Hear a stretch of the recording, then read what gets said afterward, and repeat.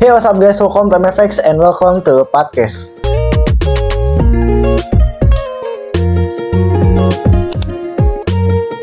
Kali ini gue kedatangan teman gue Alan Ya biasanya gue panggil Mas Alan gitu ya Ya, Mas Alan. Soalnya biasanya kalau gue panggil si Alan tuh jadi satu kata Jadi yang satu kata yang emang- memang tidak enak didengar.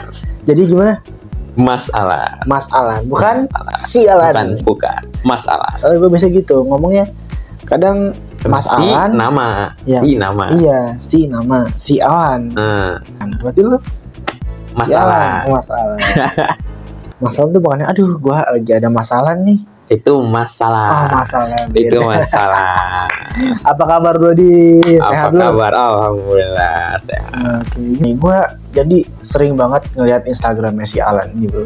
Wah, dia ini aktif banget gitu cuy. Kayak dia tuh ikut berbagai kegiatan gitu dari Basnas segala macem gitu. Jadi gue pengen ngegali lebih dalam gitu, ngegali lebih dalam lagi gitu. Sebenarnya Alan tuh apa sih gitu? Dia tuh sebagai apa gitu? Kok dia bisa aktif di mana-mana gitu kan?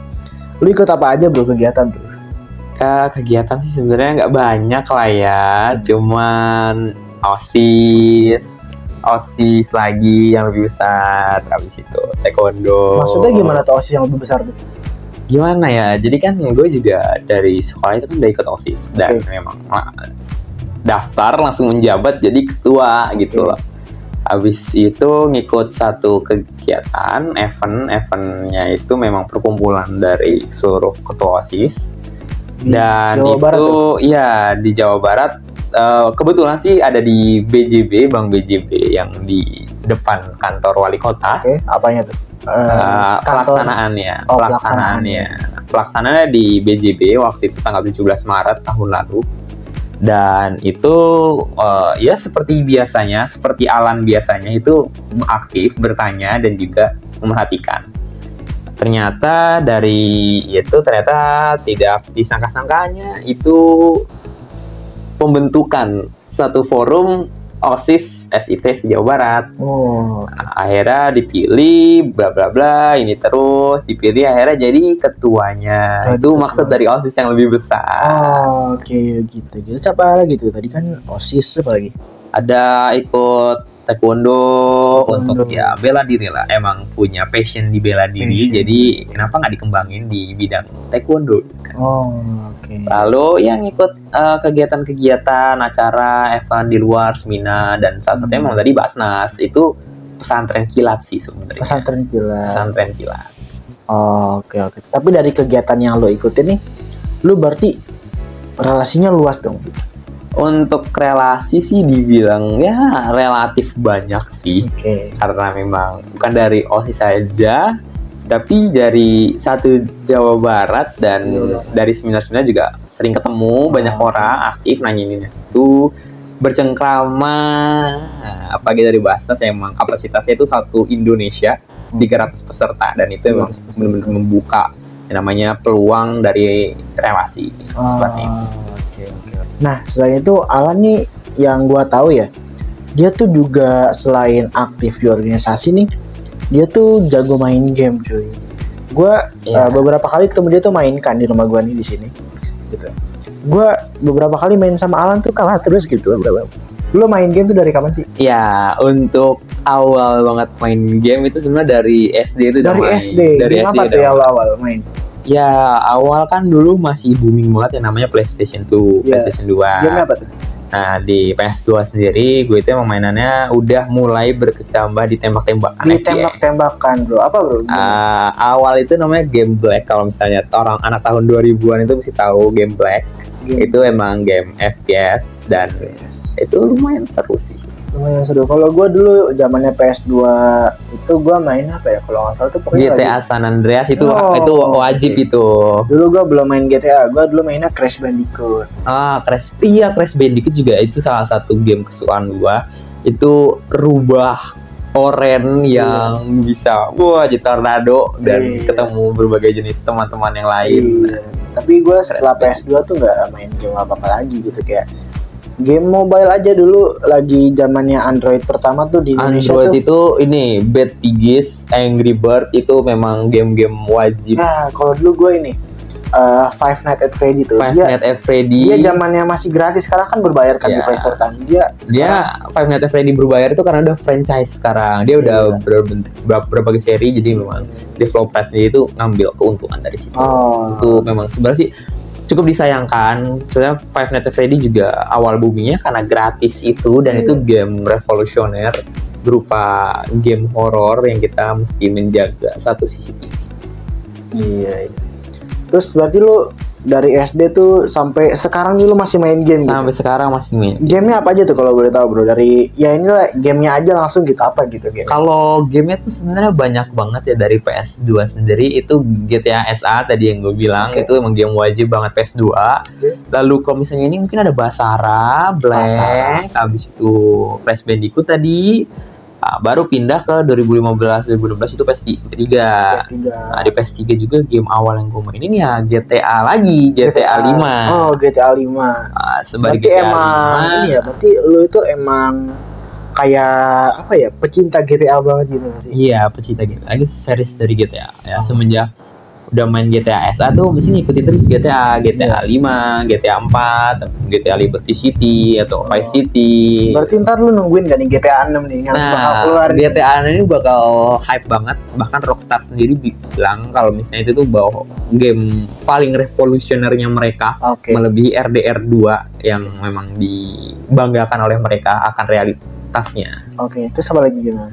Selain ya tembak-tembakan Call of Duty series Call of Duty itu memang wajib bagi gue sendiri yang ada di PS jadi Oh. memang gue sendiri di PS2 itu udah main selain game Black itu uh, Call of Duty 1 Call of Duty 2 nah, lanjut ke PS3 itu Call of Duty 3 uh, Modern Warfare.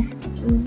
Modern Warfare 4 gitu get uh, Call of Duty 4 nah, habis itu lanjut ke series Modern Warfare 2 MW3 lanjut lagi ke Black Ops 1 Black Ops 2 Black Ops 3 lalu series yang Advanced Warfare. Nah itu itu banyak sih. Total ada 8 series game. 8 series. Selain di PS lu ada main game lain gak sih? Kayak di mobile atau di laptop gitu PC? di mobile sendiri gue itu mainan awal banget main itu game Angry Bird itu Hmm. emang game wajib banget bagi gue lalu booming boomingnya Pau Po nah Oh. itu yang ngasih makan binatang segitiga. Oren eh coklat ya Coklat. Bisa dimodif warna ya kan? Kulitnya. bisa dimodif warna Hmm, coklat itu paling ikonik banget lah Ya dia basic basic skinnya lah. ya gitu. basic skinnya lanjut abis itu mulai game mobile seperti uh, FF, PUBG. Lu main FF bro? Dulu sempet main FF dan itu juga karena memang teman-teman main FF jadi main Oh. FF juga karena ya itu game tembak-tembakan kan dan itu memang size-nya lebih kecil daripada PUBG. Ya, ranknya apa tuh kalau tahu? Kalau FF itu kalau nggak salah cuma sampai kalau di ML itu setara master atau grandmasternya gitu lah. Oke. Cuman kalau misalnya di FF sekarang grandmaster itu udah OP gitu loh, udah Oh. grand udah tingkat yang atas. Gitu. Oke, Cuma gua ya. ya ada ganti habis itu ML yang sampai sekarang itu untuk game mobile. Oh, Oke, gua dulu tuh kalau main FF tuh cuman sampai gold doang gitu. Terus sudah uninstall, main lagi gitu. Jadi gua kayak nggak mikirin buat main game gitu kayak kalau main Emang game itu nggak kalau ngikut-ngikut doang ya. ya jadi gua kalau main game itu itu kayak buat hiburan aja gitu kalau udah selesai ya udah gua hapus lagi gitu jadi gua nggak kayak ngejar ah, kayak iya nggak maksud gua nggak ngejar kayak orang-orang gitu yang pengen hype sampai tinggi gitu. Ya. nah cuma kalau lu sendiri nih berarti kan lu udah ini dong udah hafal lah cara main game tuh kayak gimana gitu kan? Po- pola main game sih sebenarnya sama ya seperti M apa ML dengan LOL itu sama juga terus PUBG dengan ML itu punya pola yang sama. iya. Jadi ya bagi gua sendiri untuk game-game yang memang eh, lawan orang gitu Hmm. itu nggak terlalu dipikirin untuk ranknya sih itu Hmm. lebih ke have fun bagi gua jadi Iya. ya lebih ke kalau ML tuh main klasik dan Hmm. kalau emang lagi diajak rank ya ikut ngerank Oh, tapi lebih eh, dominan tuh main klasik emang buat have fun doang sih berarti lu ada ikut ini gak sih kayak e-sport atau segala macam gitu kayak perlombaan main game tuh lu pernah ikut gak sih kalau perlombaan main game itu palingan di classmate doang Classmate. itu juga ditunjuk karena memang teman yang lain nggak ada yang main gitu Hmm. karena emang kebetulan main dan memang udah jago di satu hero ya akhirnya diikut lombakan untuk classmate dan berhasil membawa juara satu untuk kelas. juara satu tapi kalau di luar sekolah tuh belum pernah gitu ya Untuk juara sekolah emang nggak berminat untuk ikut sih karena Nggak bukan berminat. passionnya juga untuk atau lu gabung ke komunitas e-sport itu enggak ya nggak emang bukan buat ngejar satu pencapaian sih untuk main game. Oh. Mungkin buat have fun aja. Jadi kadang yang banyak orang yang main game itu untuk ngejar satu pencapaian bahkan gua ajak main tuh uh, mereka ogah gitu menolak untuk main bersama entah karena ranknya kecil ataupun uh, emang cupu gitu loh. bagi gua Oh. sendiri ya kalau main ya main gitu loh bodo amat menang kalah yang penting bisa diajak uh, have fun bisa diajak komunikasi menang kalah itu urusan belakangan Oh, oke oke oke. Wah berarti banyak banget insight yang gue dapet dari Alan gitu kan. Selain dia jago main game tuh dia juga pinter banget gitu. Ikut organisasi di mana-mana, relasinya banyak gitu. Jadi ya buat gue sih ya tiap orang ada baik buruknya gitu kan. iya Kalau dari lu sendiri nih, apa yang paling lo banggakan dari diri lo? dari diri gue sendiri yang paling gue banggakan itu uh, skill communication terhadap orang jadi humble dan mudah bersosialisasi. Itu yang gue banggain banget dari diri gue sendiri. Ada gak sih project atau sesuatu lah yang lo buat dari skill yang lo punya itu? ada. Dulu gue sempet nyoba ikut lomba ngebuat community dan itu memang ya diikuti yang setara udah gede community-nya dan sudah sampai final itu memang satu pencapaian bagi gue sendiri.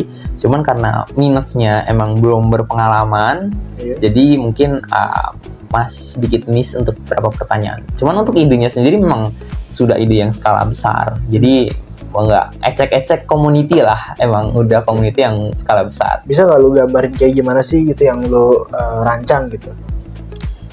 Gue ngebuat community namanya itu kotak hijau Kotak hijau. itu terinspirasi dari ada itu tempat sampah tempat sampah. yang hijau tau sih Oh, yang gitu. tempat sampah yang biasa di eh, taruh Tahu, di tahu. sekolah itu yang iya. gede warnanya hijau Iya, iya, iya. Nah itu memang awalnya itu ngelihat itu hijau dan itu emang tempat sampah. Jadi kenapa nggak namanya itu kotak hijau? Nah dari situ mulailah untuk yang namanya itu ngebuat community yang ber- berkecimpung di dunia persampahan. Oke. Bahkan sampah ini kan dari sudut pandang gua dan tim gua itu memang masalah umum yang harus ditindaki gitu. Oke. Mau bagaimanapun sampah tetaplah suatu hal yang harus ditindaklanjut dan ditegaskan Oke. karena ya nggak sembarangan gitu loh jadi sampah itu emang sedikit demi sedikit bakal jadi banyak kan Iya. kalau misalnya dikit dibodoh amatin kalau misalnya banyak malah disalah-salahin Oh. kan jadi kontradiktif tuh nah Betul. situ geraknya dari komunitas gua nah komunitas gua ini itu nge-provide eh, suatu layanan untuk pemilahan sampah pengolahan sampah. jadi menyadarkan masyarakat melalui kampanye, melalui seminar dan juga eh, satu yang kita lebihkan atau keunggulannya itu menggunakan suatu aplikasi. Suatu aplikasi. Mungkin dari lu sendiri, dari Padli sendiri nggak pernah kepikiran kalau misalnya Gojek itu dia bisa nganter barang, bisa ngirim makanan, bisa Gojek, bisa KRL, bis, pesawat, macam-macam itu nganter sampah. Ya mungkin aja bisa, cuman kan eh, ini kan kalau ini kan kan, lebih konteksnya ke kalau layanan. iya seperti Kalau itu sampah kan dia harusnya mungkin ada aplikasi tersendiri gitu Hmm. atau fitur Ya lain itu, gitu.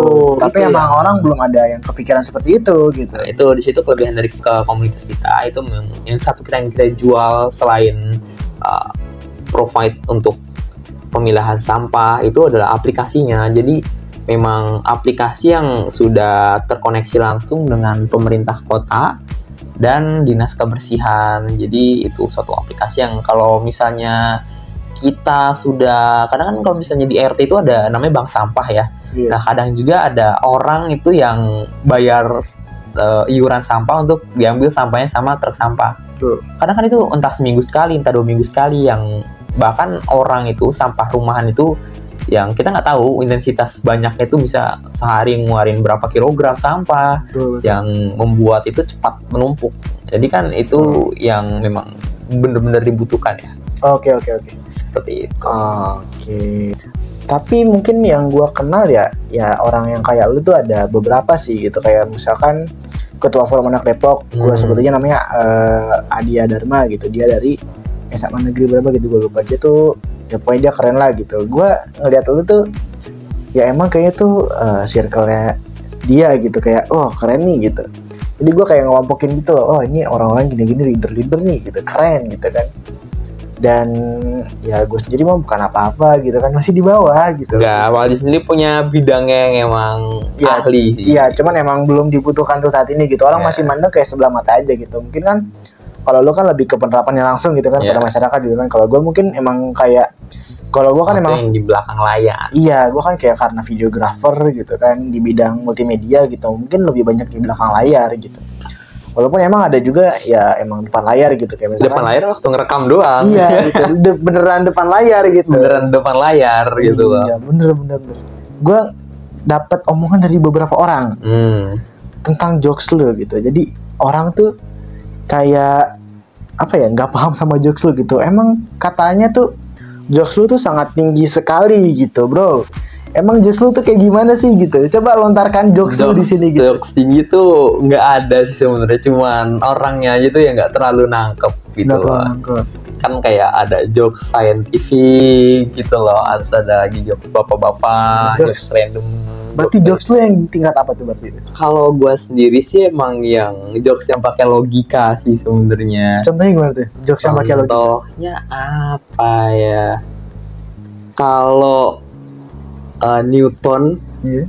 duduk di bawah pohon duren, nggak ada tuh namanya hukum Newton. Ketimpa duren langsung meninggoy. Nggak ada namanya hukum gravitasi. Manusia sebelum Iya. Newton menemukan gravitasi Iya. terbang. Kalau yang Sesudah menemukan gravitasi jalan. Ya, kalau itu gue masih paham itu. Yang Eureka Eureka itu siapa sih yang Eureka itu ini dipopulerkan oleh Albert Einstein. Albert Einstein. Kalau Albert Einstein mandi sambil meluk batu, Hmm? dia mati, cuy. Kenapa? Karena nggak bakal ngambang. Ah, iya. itu scientific ya. bener bener bener Padahal gue orang IPS cuy.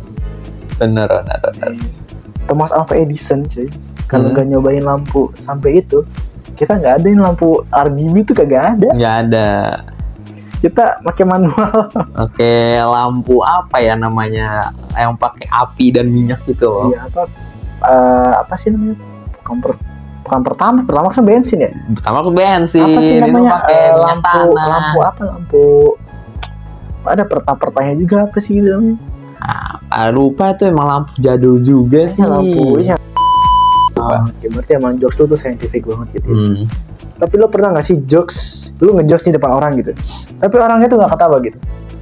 ya itu jokes Kayaknya- garing sih Kayaknya sering, kayak sering banget ya mau alamin gitu ya. Serius banget. Itu enggak, enggak juga sih. Kadang kalau misalnya jokesnya udah dijelasin malah mereka langsung ketawa kan memang paham kan jokesnya. Tapi lo ngejokes kayak gitu ke gue tuh, lu gak pernah ngejelasin ke gue gitu. Oh Lu iya. ngeliat, beli, oh iya, gue ketawa, iya gitu kayak karena emang gue nggak Paham tahu. nggak paham. nggak paham juga gitu. Jadi emang ke gue kalau alan ngejokes tuh kadang emang kagak nyambung gitu karena jokesnya scientific coy gue harusnya jokesnya sosum coy Iya, dari ini aja udah beda.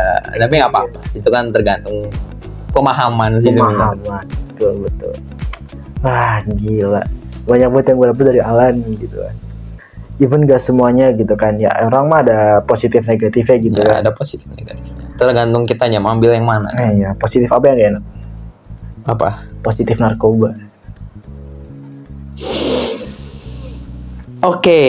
positif apa yang menyakitkan apa positif covid Oke. positif apa yang membesar Apa? positif hamil Oke, oke. Cukup cukup positifnya cukup cukup cukup positifnya.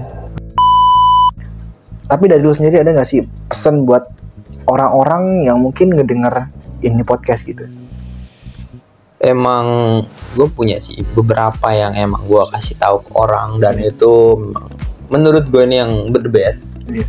Uh, jadilah diri sendiri Hmm. uh, dan lakukan yang terbaik karena apa pun yang kalian lakukan dengan niat yang baik akan menjadikan hasil yang baik juga Eh, tepuk tangan untuk kalian. Ya, sekian aja buat video gua kali ini. Semoga apa yang disampaikan sama Alan nih bisa bermanfaat buat teman-teman semua. So, gua Fadli, see you next video and goodbye.